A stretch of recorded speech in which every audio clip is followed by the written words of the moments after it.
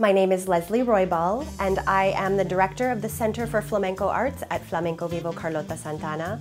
I am an artist, a dancer, a teacher, as well as a mentor for young dancers, and I'm a New Yorker for dance. New York is the most diverse city in the world, and flamenco is a multicultural art form that really taps into the deep well of emotions that we all share. So when you really are enjoying your dance experience, I encourage you to shout out, Ole!